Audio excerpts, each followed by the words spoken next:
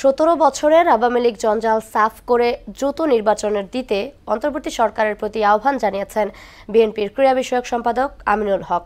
তার অভিযোগ, পতিত স্বৈর শাসকরা প্রশাসনে দলীয়করণের পাশাপাশি বিচার বিভাগকেও ধ্বংস করেছে। দুপুরে রাজধানীর পল্লবীতে স্বেচ্ছায় রক্তদান কর্মসূচি উদ্বোধনী অনুষ্ঠানে আমিনুল হক জানান, দলের মধ্যে নব্য বিএনপির ঠাঁই হবে না।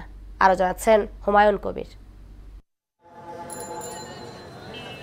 রাজধানীর পল্লবী থানা ছাত্রদলের রক্তদান কর্মসূচি উদ্বোধন করেন ঢাকা মহানগর উত্তর বিএনপির সাবেক দুইবারের সদস্য সচিব ও বিএনপি ক্রিয়া বিষয়ক সম্পাদক আমিনুল হক। উপস্থিত ছিলেন দল ও সহযোগী সংগঠনের নেতাকর্মীরা।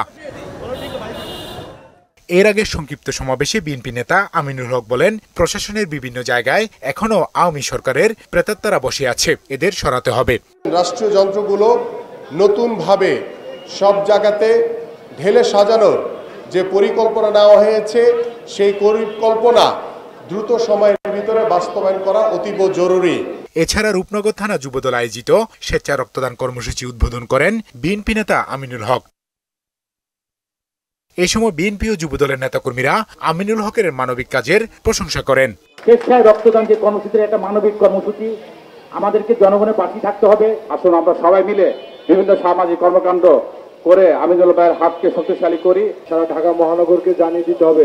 প্রত্যেক জায়গাতেই এরকম সুশৃঙ্খল কর্মসূচি এবং মানবতার কল্যাণের কর্মসূচি পালন করা উচিত। বিচার বিভাগকে ঢেলে সাজানোর পাশাপাশি একটি সুষ্ঠু নির্বাচনের ব্যবস্থা করতে অন্তর্বর্তী সরকারের প্রতি আহ্বান জানান বিএনপির ক্রিয়া বিষয়ক সম্পাদক। আমরা চেষ্টা করছি এই বিচার বিভাগকে স্বাধীন করে আবার নতুনভাবে গড়ে তোলা। আমরা চেষ্টা করছি এই সংবাদ মাধ্যমগুলোকে আবার নতুনভাবে গড়ে তোলা যাতে স্বাধীনভাবে এই স্বৈরাচার মুক্ত বাংলাদেশে স্বাধীন মতামত প্রকাশ করার মতো আমরা যাতে কথা বলতে পারি স্বাধীন মতামত যাতে আমরা প্রকাশ করতে পারি।